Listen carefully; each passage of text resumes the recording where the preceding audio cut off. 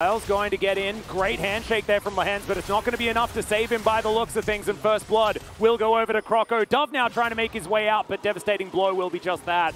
And Peanut is going... Just not balanced! He's just not... I mean, Zeri also isn't, especially with a range advantage this high. But Liiv Sandbox made them work so hard for it. You saw the game plan. You saw how it was supposed to work.